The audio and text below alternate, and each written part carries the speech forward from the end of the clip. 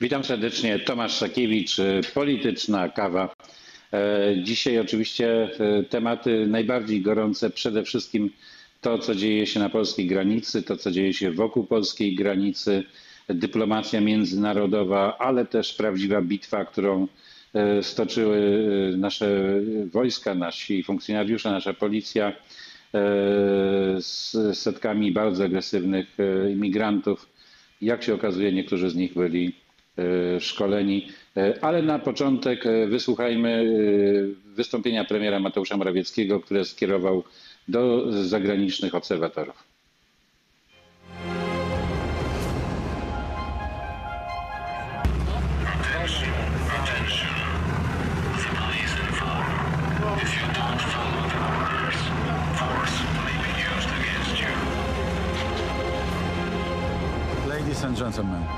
Panie i panowie, zwracam się do Was, bo Europa, nasz wspólny dom, jest zagrożona. W tej chwili na polsko-białoruskiej granicy toczy się wojna hybrydowa, którą Aleksander Łukaszenko ze wsparciem Władimira Putina wypowiedział całej Unii Europejskiej.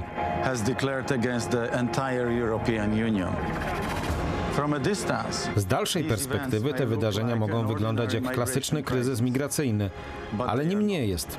To kryzys polityczny sprokurowany w konkretnym celu, by zdestabilizować Unię Europejską. Pierwszy raz od końca zimnej wojny, 30 lat temu.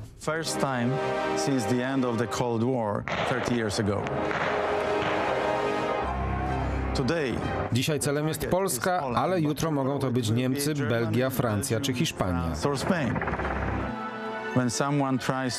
Gdy ktoś próbuje włamać się do naszych domów, stajemy w obronie. Ta zasada odnosi się też do narodowych granic. Granic Unii Europejskiej i NATO, naszego wspólnego domu. Stańmy wspólnie.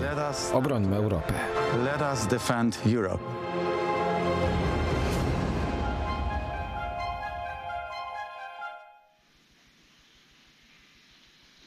To może dobry moment, e, żeby o tym porozmawiać w gronie e, polityków. E, Marek Balt, Lewica, europoseł, witam serdecznie. Witam panie redaktorze, witam pana ministra, witam telewidzów. I wymieniony już pan minister, europoseł Witold Waszczykowski, witam serdecznie. Dzień dobry panu, dzień dobry państwu. Minęło już e, wiele miesięcy tego kryzysu imigracyjnego. E, Ma on swoje różne odsłony. E, Początek tygodnia to była najbardziej agresywna atak, w którym rannych zostało kilkunastu polskich żołnierzy i funkcjonariuszy.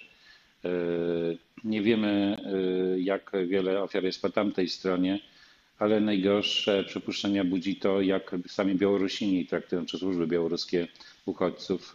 E, Słychać na tyłach gdzieś na uchodźcy strzały.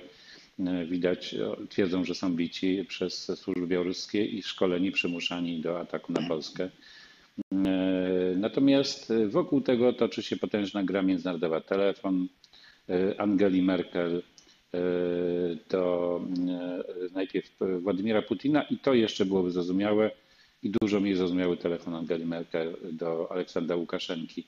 Mm, Jak e, panowie oceniają e, to, co się dzieje, a szczególnie to, że została przełamana e, umowa cywilizowanego świata, że nie uznajemy Łukaszenki jako legalnego prezydenta? Może najpierw Witold Waszczykowski. Tak, dziękuję. Po, zacznę od pozytywów. Pozytywnie oceniam e, działanie naszych władz, a przede wszystkim służb na granicy. To e, ta bitwa graniczna jest zdecydowanie wygrana przez nas, mimo tego, że spotkaliśmy się z niespotykaną wręcz agresją. Ja tego się nie spodziewałem jednak po emigrantach. E, Nie spodziewałem się tak jawnego wmieszania się e, służb bezpieczeństwa Białorusi. E, Natomiast na płaszczyźnie politycznej widać jasno, że mm, Łukaszenka jest tylko wykonawcą pewnego szerszego planu Putina. Przypomnę tutaj świętej pamięci Lecha Kaczyńskiego z sierpnia 2008, dzisiaj Gruzja, potem Ukraina, potem kraje bałtyckie i może mój kraj. Więc ten scenariusz jest wykonywany.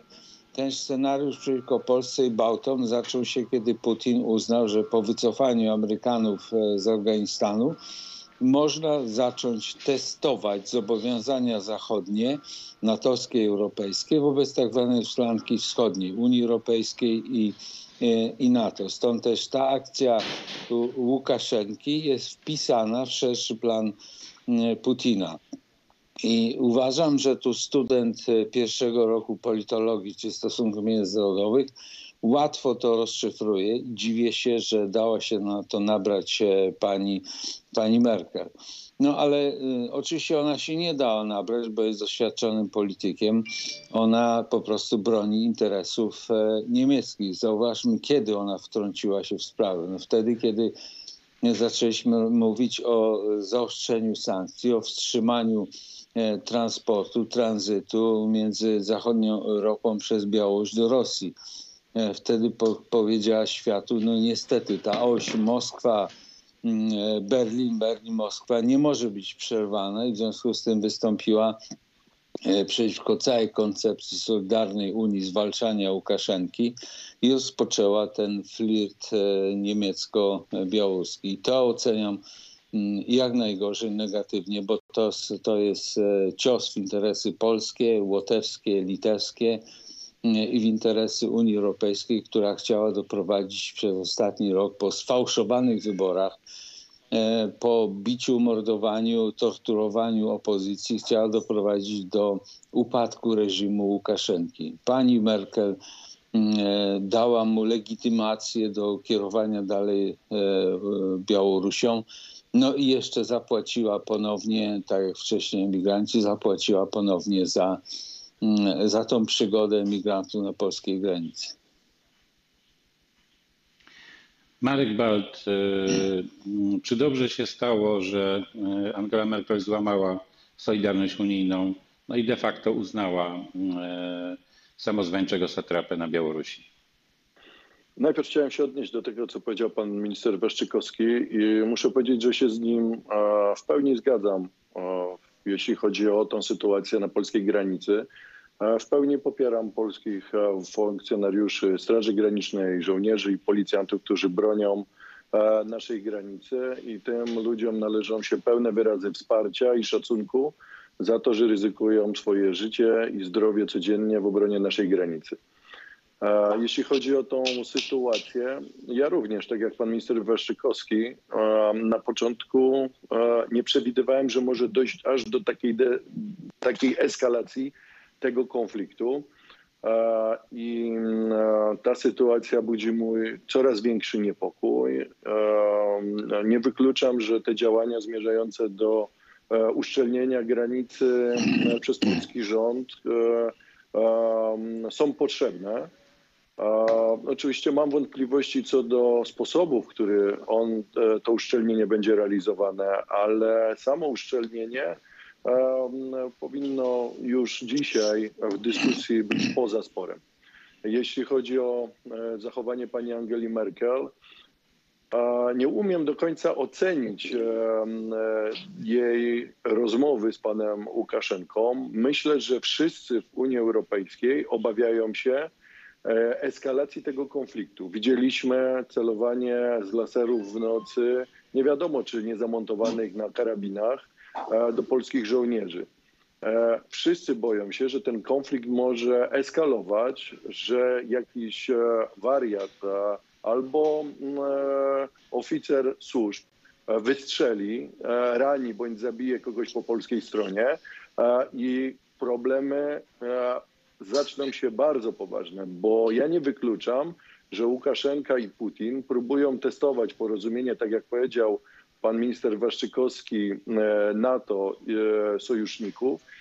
I w takiej sytuacji, e, jeśli my poprosimy o wsparcie ze strony NATO i zaczniemy gromadzić więcej na przykład wojsk sojuszniczych blisko granicy, to to będzie, to, te ruchy mogą zostać wykorzystane przez Rosję do tego, żeby również po drugiej stronie zgromadzić wojska, i to może niestety może doprowadzić do jakiegoś rodzaju konfliktu. Nie umiem go dzisiaj ocenić, jaki by to był konflikt, ale być może że ten scenariusz ktoś na wschodzie zaplanował i my jako Polska nie możemy się dać wciągnąć w ten scenariusz.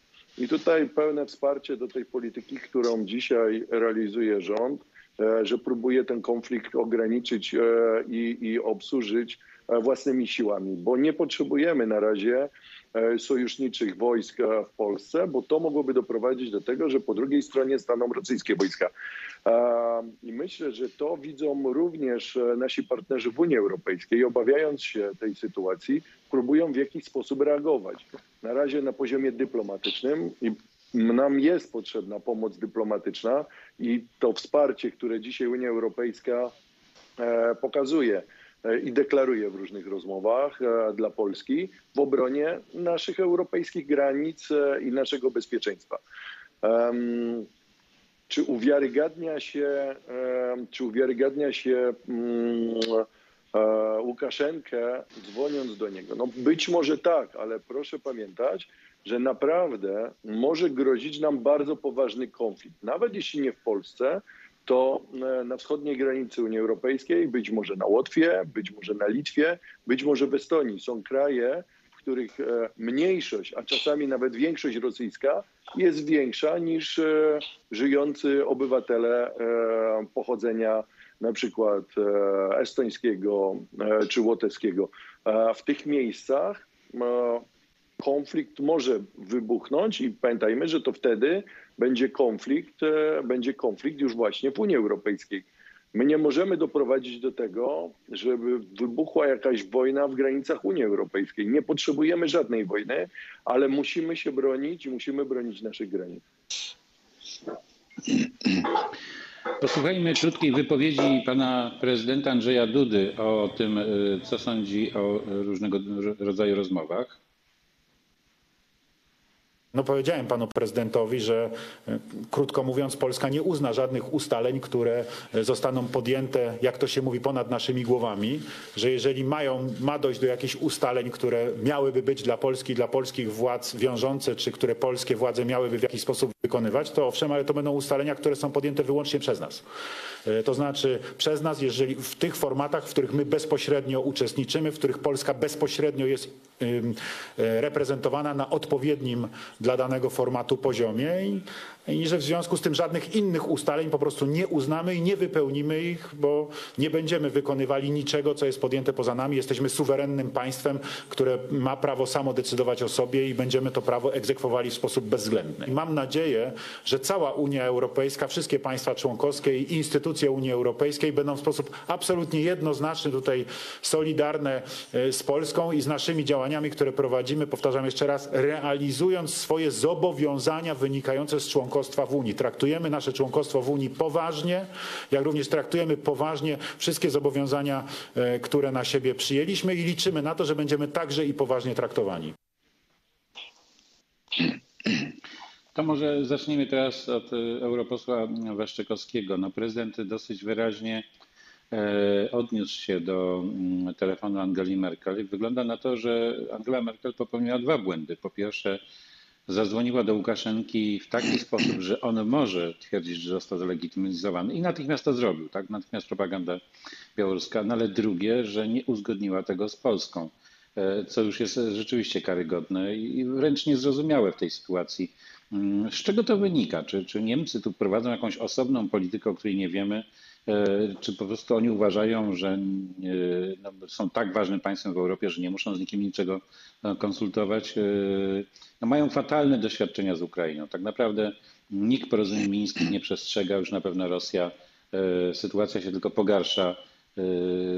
No, zrobili to w znacznej mierze ponad głowami Ukrainy i, i, i dalej tę politykę kontynuują.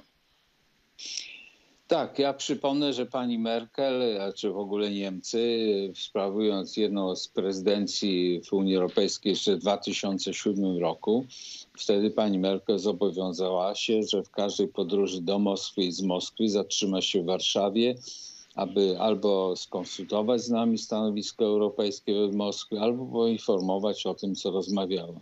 Bardzo szybko o tym zapomniała, mimo tego, że za lada chwila, potem od 2008 roku doszedł do władzy mm, bardzo przyjazny wobec niej rząd Platformy Obywatelskiej. Z nimi też nie konsultowano tego.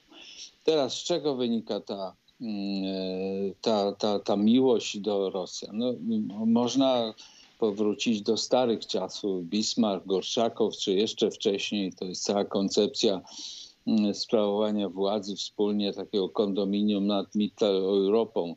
E, część to jest, e, miałaby podlegać Niemcom, część Rosji, później Związkowi Radzieckiemu, to jest Jałta i tak dalej. E, teraz po II wojnie światowej Niemcy mają przecież wielką ambicję, szczególnie po zakończeniu zimnej wojny, wielką ambicję, aby wypchnąć jednak Amerykanów politycznie, przynajmniej politycznie z Europy i przejąć od Amerykanów tą pałeczkę rozwiązywania konfliktów w Europie w europejskim. Robią to bez skutku. Próbowali to na Bałkanach w latach 90. i dopiero powód do Amerykanów spowodował, że konflikty bałkańskie zostały częściowo rozwiązane, częściowo zamrożone. E, próbują, próbowali to robić wobec Mołdawii, Transniestrza. Kwestia jest zamrożona i rozwiązana. Wobec Ukrainy, jak pan redaktor mówił, format normandzki, format, e, format miński, również 7 lat trwa konflikt, jest e, nierozwiązany. Niemcy wraz Mm, z Francją mają tendencję do obchodzenia instytucji europejskich, które przecież e, tworzyliśmy wspólnie i których to Niemcy z Francją byli orędownikami. Mają tą chęć, żeby rozwiązywać konflikt z Iranem czy z innymi państwami przez tak zwaną trojkę, czyli Niemcy, Francja, kiedy jeszcze w Unii była Wielka e, Brytania. A więc to jest taka ciągota do XIX-wiecznego koncertu mocarstw, który rozwiązuje sprawy międzynarodowe poza strukturami europejskimi. To się bardzo podoba Rosjanom oczywiście, mm, bo Rosjanie nie chcą być konfrontowani z całymi instytucjami takimi jak NATO czy Unia, bo im tam nie w smak jest, że takie kraje jak Polska, czy jeszcze mniejsze jak Słowacja, Słowenia i Malta uczestniczą, decydują o losach Europy. Stąd też oni lubią sobie wybierać partnerów i ten, ta koncepcja XIX-wiecznego koncertu mocarstw jest dla nich bardzo atrakcyjna. No i niestety Niemcy Ma, Marek Balt, kończy nam się czas. Chciałbym, żeby jeszcze Marek Balt y, się w tej sprawie powiedział. No tak, oczywiście i tutaj również muszę się e, zgodzić z panem ministrem Waszczykowskim. Rosjanom pasuje wybieranie sobie partnerów do rozmowy. No i my też mamy dobre relacje z Francuzami, bo z nimi nie graniczymy tak jak i Niemcy mają lepsze relacje e, z krajami, z, których bezpośrednio, z którymi bezpośrednio nie graniczą. I to jest jakiś tam historyczny e, temat. No, e, Oczywiście Niemcy powinni konsultować pewne działania związane z polityką zagraniczną wschodnią z nami, z Polską i z innymi krajami z ściany wschodniej, bo to my jesteśmy buforem broniącym Unię Europejską przed e, różnymi działaniami wrogimi dla Unii Europejskiej. Dla Rosji Unia Europejska jest poważnym przeciwnikiem, jest dużym, poważnym graczem na arenie e, międzynarodowej i osłabianie tych struktur, budzenie nieufności e, pomiędzy partnerami jest celem de facto Rosji, która w ten sposób buduje swoją pozycję. My powinniśmy rozmawiać być może już z nowym kanclerzem czy kandydatem na kanclerza, E, Niemiec o e, polityce międzynarodowej, która będzie realizowana po jego wyborze w przyszłym roku. Pani, pani Angela Merkel już jest schodzącym kanclerzem. E, no i też oczywiście jest nadal istotna, ale przypomnę, że nawet pan prezydent Duda nie chciał się z nią spotkać, kiedy była w Polsce. Więc myślę, że ona te swoje argumenty, e, wykorzystując je dzisiaj w polityce, no ona je wykorzystuje nie do końca już e, z taką siłą, która by była istotna, ponieważ partia pani Angeli Merkel traci w sondażach i wiadomo, że, że Niemcy będą miały inną optykę niż ona. Mam nadzieję, że bardziej solidarną z Unią Europejską i z krajami Unii Europejskiej. Powinniśmy rozmawiać z nowymi władzami e, Niemiec e, o współpracy i pewnym pakcie właśnie dotyczącym naszych wschodnich granic. Jesteśmy już wprawdzie po czasie, ale chciałem bardzo krótko, jeszcze jedno pytanie. Ja wczoraj zaproponowałem w komentarzu, e, żeby zacząć liczyć straty, które ponosimy z powodu agresji Ukrainy, żeby po prostu wystawić im rachunek, w razie czego zwrócić się do Międzynarodowego Trybunału Sprawiedliwości albo przez inne formy arbitraży czy nacisków międzynarodowych, żeby jednak Łukaszenka wiedział e, i Rosja, że będą musieli zapłacić e, rachunek taki finansowy za budowę zapory, za e, utrzymywanie wojsk na naszej granicy, bo to wynika wszystko z agresji, z napadu, z łamania prawa międzynarodowego. Co panowie o tym sądzą? Tak po 15 sekund. Witold Waszczykowski, Tamarek Balt. To jest dobry pomysł. Oczywiście on nie będzie zrealizowany przez Łukaszenkę, ale również przypominam, że bronimy granicy europejskiej. My, Łotysze, Litwini, granicy natowskiej. Także ten rachunek warto wystawić naszym sojusznikom, bo tak jak chcą zapłacić Łukaszence, tak również powinni wspierać nas. Nie poprzez umiędzynarodowienie tej e, granicy i przejęcie władzy, bo to jest nasza prerogatywa, ale za wsparcie naszych działań e, finansowo bądź materialnie. Też uważam, że wystawienie, wystawienie rachunku e, mogłoby być istotnym elementem nacisku politycznego na pana Łukaszenkę e, i na e, Rosję, która uczestniczy e, wspierając e, ten konflikt. I też zgadzam się z panem ministrem Waszczykowskim, że będzie bardzo ciężko wyegzekwować ten rachunek. Ale przypomnę, że tak jak Donald Trump kiedyś e, chciał budować mur na granicy z Meksykiem i chciał obciążyć Meksyk e, kosztami budowy tego muru, tak my możemy spróbować to z Białorusią, ale obawiam się, że niestety e, poza oddźwiękiem politycznym, no niestety nie otrzymamy ani jednego euro, ani jednego dolara od Łukaszenki za budowę tych umocnień. Ani rubelka. No, zobaczymy, bo może na czymś będzie kiedyś Łukaszence zależało i warunkiem może być zapłacenie tego miliarda do dwóch miliardów dolarów, które będzie nas już w tej chwili konflikt kosztował, bo tak jest koszt budowy moru utrzymywania wojsk szacowany, bo pewnie jeszcze to wszystko będzie policzyć. Bardzo dziękuję. W drugiej części opowiemy o działaniach psychologicznych, propagandowych wobec naszego wojska, które stosuje Białoruś, o szkoleniu e, ludzi do ataku na nasze wojsko ze specjalistą od e, terroryzmu e, i bezpieczeństwa. Bardzo dziękuję. Marek Balt, Witold Waszczykowski byli moimi gośćmi. Dziękuję za zaproszenie.